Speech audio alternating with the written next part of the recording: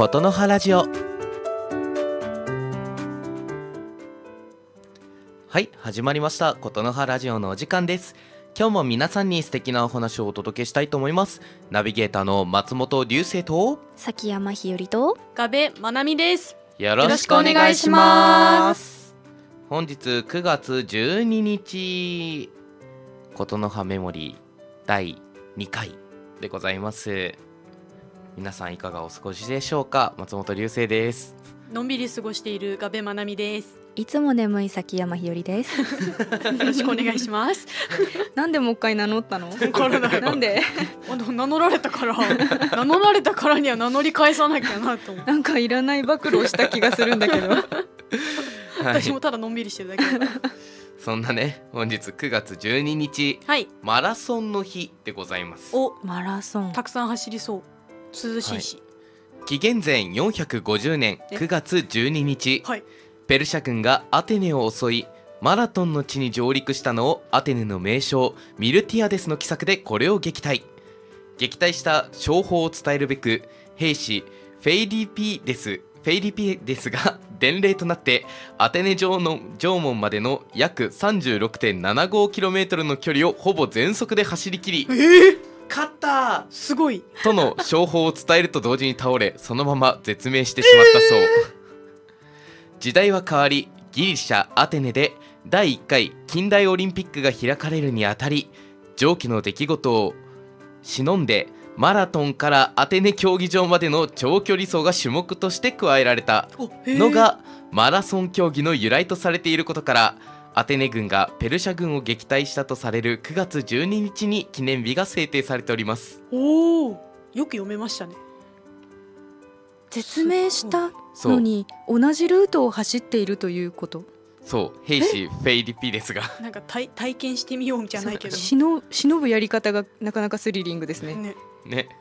まあでもまあでも走った身からしたらちょっと嬉しいかもね同じこと。をそうね。だって多分さその人はさ多分本当に勝利を伝えるにはもう、うん。じこの人にしか課せられてないから僕がやらなきゃって。もう本当にそのまま名の通り死に物狂いでうん。走ってるわけだけどほら今参加してる人たちはそういうルールないから、うんうん。そうそうそう。大丈夫大丈夫。すごいね。紀元前って始まってびっくりしましたね。ね。え？ってなったもん今、ね。き紀元前の9月12みたいになそうそうそう。紀元前450年紀元前で聞くとすごい遠く感じるのに9月12って言われるとすごい身近に感じる。あ9月ね。みたいな。そうなんだみたいな。そうだからマラソンの語源はマラトンから来てるんですよ。マラトン？マラソン？可愛いね名前が。マラトン。ン日本語の感覚で聞くと可愛い。マラトン。なるほど。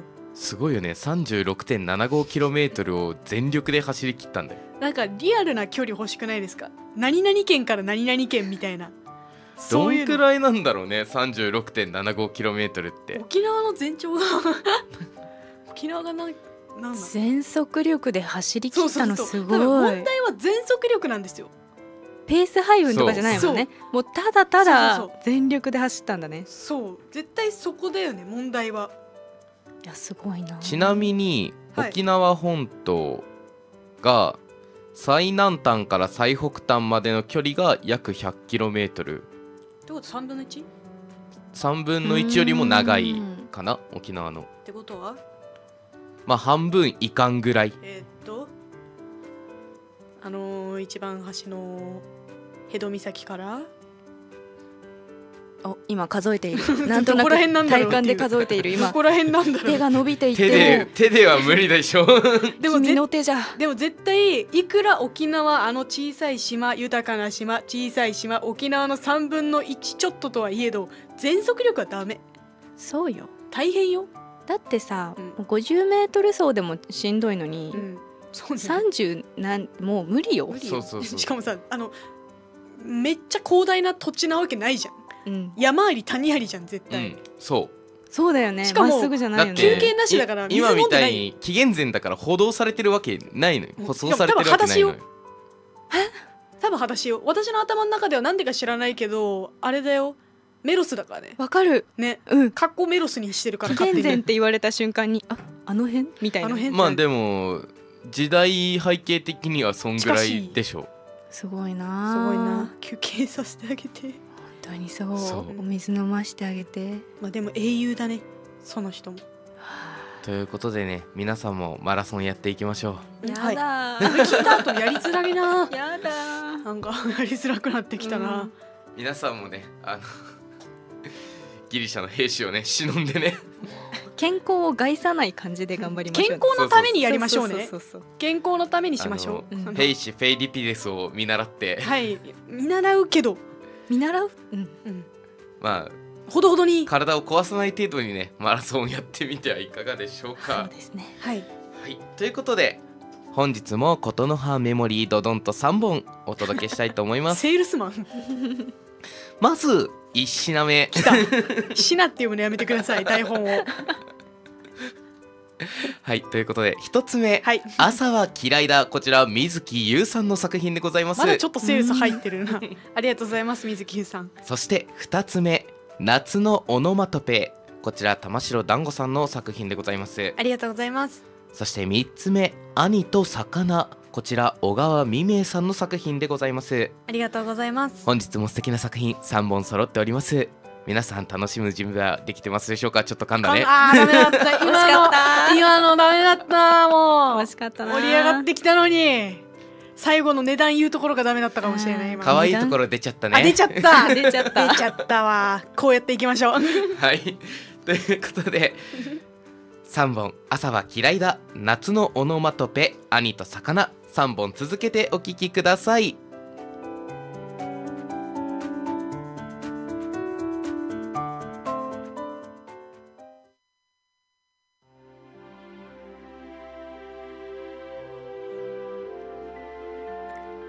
朝は嫌いだ。水木優。朝は嫌いだ。目を覚ました途端いろいろなことを思い出す。今日しなきゃいけない。いろいろなこと。ゴミ出ししなきゃ先週も忘れた。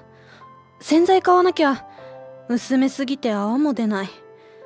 ママに電話しなきゃもう2週間もかけてない。電気代払わなきゃ今日にでも止められちゃいそう。腐ったシチューを入れっぱなしの鍋洗わなきゃ。パンクしたまんまの自転車修理しなきゃ。玄関ドアの隅っこに貼っているクモの巣掃除しなきゃ。彼氏とよりを戻したばかりのミカの愚痴聞いてやらなきゃ。起きなきゃ。服を着なきゃ。剥がれたネイルを塗り直さなきゃ。伝線してないストッキングを探さなきゃ。靴を履かなきゃ。電車に乗らなきゃ。仕事に行かなきゃ。今日も生きていかなきゃ。朝なんて嫌いだ。まばゆい日が昇る。化粧しなけりゃ顔も見せられない。日焼け止めクリームも塗らなきゃね。このはち切れそうな二の腕。なんとかしたい。なんで朝なんかやってくるんだろう。ずっと夜のままだといいのに。ずっと布団の中でぐずぐずしていたいのに。たった一人孤独に生きていることを改めて確認させられる朝。今日もまた一つ年を取ってしまったことを確認させられる朝。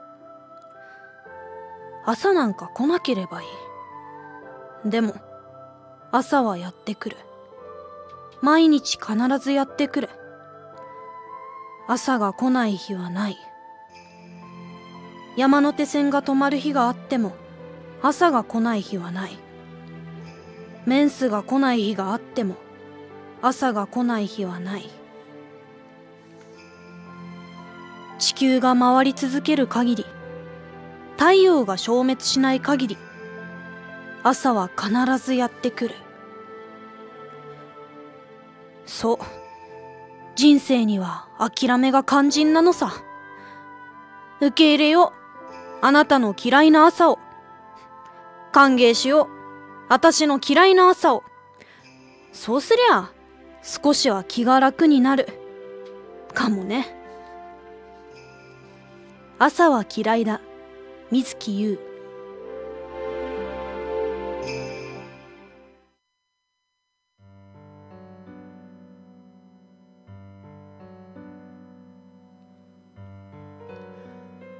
夏のオノマトペ。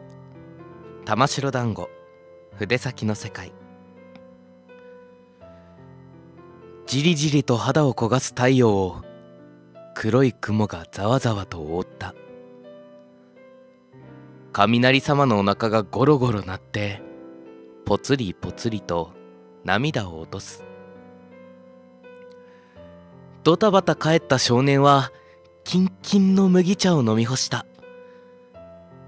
宿題やれと怒られメソメソしては仕方なく教科書をペラペラする。べそかきかじかじ鉛筆噛んだ。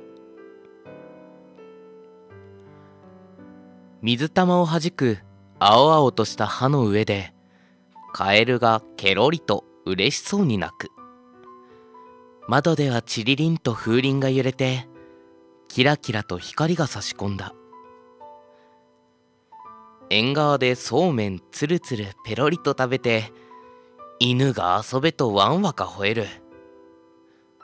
女の子はルンルン気分でバシャリバシャリと水たまりで跳ねる。お母さんがあらあらまあまあとニコニコ笑顔で頭を撫でた。どこからともなくワイのワイのと騒ぐ声。ジュージューと焼ける匂いにお腹をグーグー鳴らしてる。もくもく焼く人もぐもぐ食べる人。ごくごく飲んでいい気分。顔川を覗けば魚がスイスイ泳いでる。ジャポンと飛び込む水の音。それを見てる君の髪がさらさらなびいてそのまた後ろでもやっとしてる彼がいる。さんさんと照りつけた日も落ちる頃じーじーりんりんと音楽隊が大合唱。浴衣姿にカランコロンと下駄が鳴る。鉄板の上ではくるりくるりとタコが踊りガリガリ削った氷にシロップかけ放題。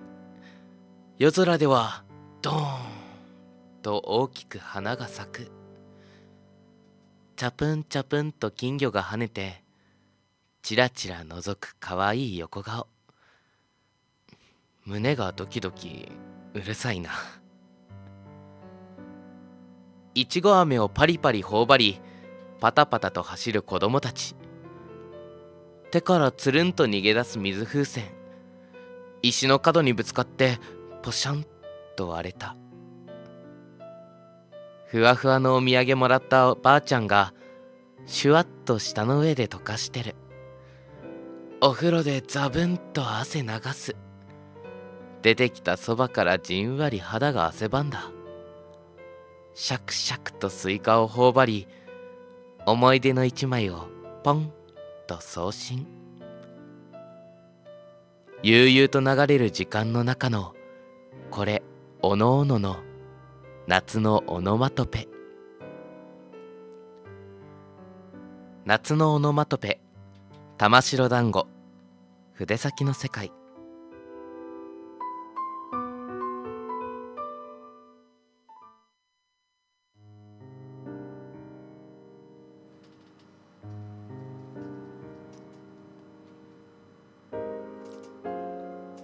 と魚。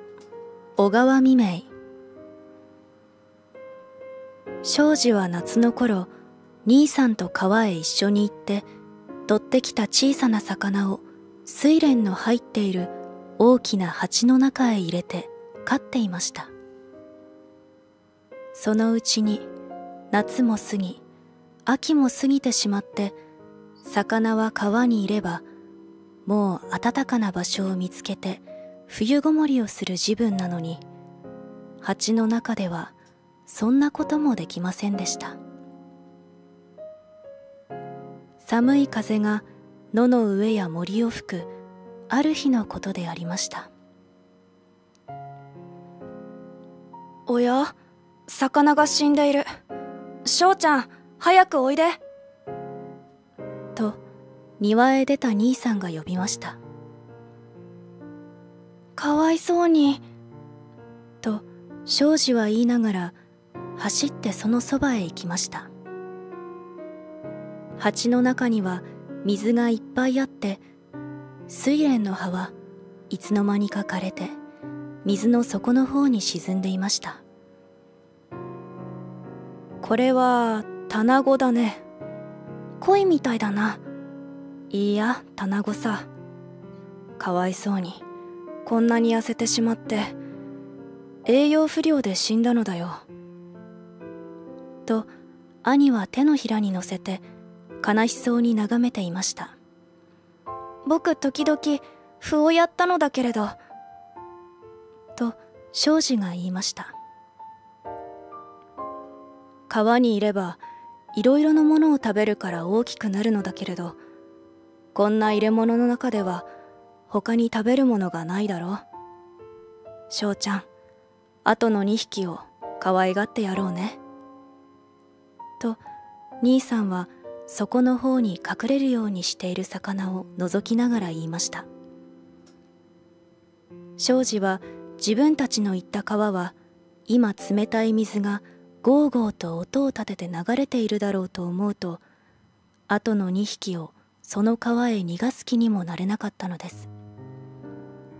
兄ちゃん後のは可愛がってやろうよ。他の入れ物に移してお家の中へ置こうね。そうして春になったらまたここへ入れることにしよう。ご飯粒をやろうか。冬はあまり物を食べないものだ。それより暖かにしてやる方がいいのだよ。庄司は兄が手に持っている魚をどうするだろうと思って見ていました。翔ちゃん手すきを持っておいで。と兄は言いました。庄司が物置から手すきを取り出してくると兄は椿の下に穴を掘りました。ああここへ埋めてやるのだな。と庄司が見ていると兄は落ち葉を探してきました。庄司は何をするのだろうと黙って見ていると穴の下へその枯れ葉を敷きました。そして死んだ魚をその葉の上へ乗せました。それからまた枯れ葉をその上へ敷いて土をかけたのであります。終わりまで黙ってこれを見ていた庄司は優しい兄の心持ちがよくわかりました。いい兄さんだなと思いました。川で取ってきてからこんなに長くいたんだもの。後の2匹を殺しちゃ僕たちが悪いのだよ。どうかしてこの冬を越すように可愛がってやろうね。と兄さんは言いました。庄司もそうだと思いました。部屋へ置くようになってから寒い晩は水を凍らせないようにしました。またお天気になると縁側へ出して日の光に当ててやりました。ある日庄司は雑誌に載っているお話を読んでいるうちに「おや?」とびっくりしました。なぜならそれにはこう書いてありました。私は死んだ金魚をドブの中へ捨てる気にはなれませんでした。穴を掘って木の葉を敷きその上へ乗せてまた葉をかけて土に埋めてやりました。うちの兄さんと同じことをしたのだ。なんという不思議なことだろう。庄司は兄のところへかけてゆくと兄さんこれを読んでごらんなさい」と雑誌を出しました。なんだい？童話だね。そんなに面白いのかい？ここんところだよ。と庄司は書いてあるところを指しました。兄は黙って読んでいました。しばらく何も言わずに考えていましたがそのうちに「と大きな声で笑いました。兄さんと同じだろ？この人兄さんのしたことを知っているのかな？と庄司は頭をかしげました。そんなことはないよ。翔ちゃん誰でも人というものは正直であれば同じことを考えるんだね。僕ばかりかと思ったらそうでなかった。だからよくお話さえすればどの子もみんないいお友達になれるんだよ。兄は言いました。小さな庄司くんもなるほどなとうなずくことができたのであります。兄と魚小川未明。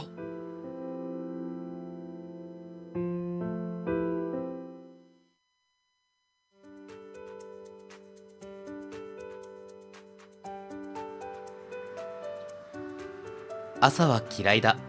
夏のオノマトペ兄と魚3本続けてお聞きいただきました。いかがでしたでしょうか？朝がねちょっと嫌な気持ちわかりますよ。わかる。お二人は朝得意？いえ全然。全くもって自信がないです。1ミリもないですね。でもなんか夜型ってわけでもないよね別に。ええ。まあずっと苦手？寝る前が一番元気ですかね？かる。わかる。一番活動できる時間帯ですかね、わかるわかる。寝る前が。ちなみにお二人っていつも何時頃寝てるんですか？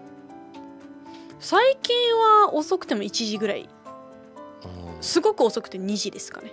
あでも同じぐらいかな、うん、遅くて2時とか。朝起きるために必死に寝てます。そう。起きるために寝てるよね。そうですよ明日早いからもう寝なきゃっていう。あ寝なきゃ。いや。眠たいなじゃないもんね。二人とも寝るの早いね。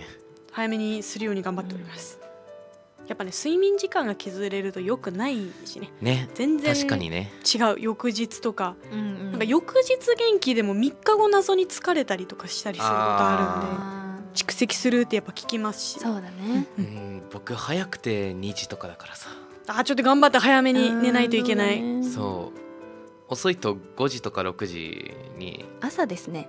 寝るのよ。でも流星さんは確かちょっとあんまり寝つきがなんかそもそもショートスリーパーではあるんだけどたくさん寝るってわけじゃなかったですもん、うん。すぐすぐ寝れるって感じでもないですもんね。そうそうそう。もともとあんまり睡眠の質がいい方ではないんだけどさ。うん改善していきたい点ですね。そう。そうですね。だから逆に朝もすって起きんのよあなるほどなるほど。ちょっと浅い睡眠が続いてるもっていう。うなんか目覚ましの音とか日の光とかでパッて起きちゃうああなるほどなるほど。朝は意外と得意なんだけあど目覚めはいい。ですかそうそう。そうおお別に機嫌悪くもなんないし。うおんーいいですね。うん。いいですね。あの目覚めがいいのか寝ていないのかどっちか僕は分かんないんですけど。難しい確かに。でも人によって全然体感違いますもんね。全然睡眠時間が短くてもあの他の逆にいつも寝てる人の方が疲れてたりとかありますからね。まあでもねあのちゃんと寝た方がいいですよ、はい。そうですね。適切な時間をねすご寝ましょう、く体にね負担がかかるとのことなんで、はい、本当は寝だめとかもあんまりらしいですよ、そうですよ、うん。ためられないっていうよね。はい。うん。平均して安定した睡眠をはい。取れるようにそして夏のオノマトペ。はいこれは最近ね最近3ですね。人で読んだんですけどちょっと1人で読ませていただきました。はいいいですね。いい作品だよねこれも。ジュージューオノマトペっていいですもんね。うん。ちょうどオノマトペの話しましたねその時も。そうそうそうそう方言の話とかもね、うんお腹減くなってやりましたねまたまだちょっと夏って感じはあるかもしれないけど沖縄は、いや全然ですよ。何言ってるんですか？沖縄はもう本当に秋なんてないですから。まだ川に飛び込めちゃう全然。から夏と冬しかないんで、うん。はい、まだあのー 時間あるんでね夏感じてみてはいかがもうでしょうか全然ですよ。11月ぐらいまで夏だと思ってください皆さん。はい、そして最後兄と魚。うんギョギョ。ギョギョ。ギョギョ。結構久しぶりだよねこれ。そうですね、うん。ちょっと前だよね。ちょびっと前ですかねいやでも大好きですこれは私が。お兄さんがいい人なんだよねいや本当に。弟くんも素直。ね素直に聞けるいい子なのよね登場人物がみんな可愛い。うん。その雑誌に載ってる子もねそう可愛いね。皆さんもね、うん。あの素直に話してみるって本当に大事なことだと思うんでね。はい。そういうねなんかちょっと素直になれなかったなって時があったら、うん。また次のね機会にちょっと頑張ってみてもいいんじゃないでしょうか。私も心にそれを留めながら生きていこうと思います。はい。ラベロボットみたいな。ちょっと今今思い返してみたらちょっとドキドキしてきちゃって。胸に手をそれではお時間がやってまいりました。はい。本日も楽しんでいただけましたでしょうか？急だな。やだ二人ロボじゃん。次回もね素敵なお話を、お届けしたいと思いますので、皆さんよかったら来週も楽しみにしててください。それでは今日も一日お疲れ様でした。お疲れ様でしおた疲れ様でした。ロボだ